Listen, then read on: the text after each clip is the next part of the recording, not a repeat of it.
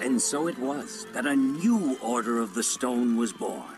One whose adventures were only just beginning.